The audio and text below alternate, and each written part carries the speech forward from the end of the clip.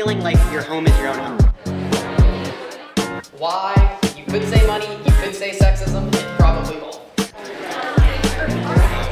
Such amazing organizations and learn so much from their expertise. Last name is Narvin Sean, embroidery.